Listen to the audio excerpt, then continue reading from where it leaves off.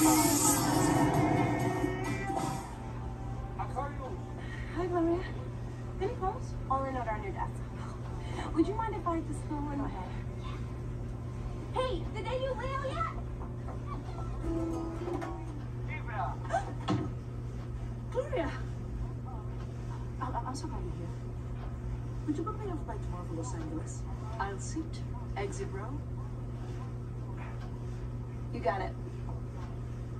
Know, Walter's never wrong.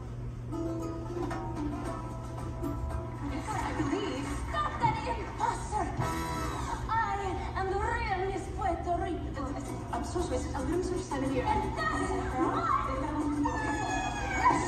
I wasn't for a dignified for a beauty queen.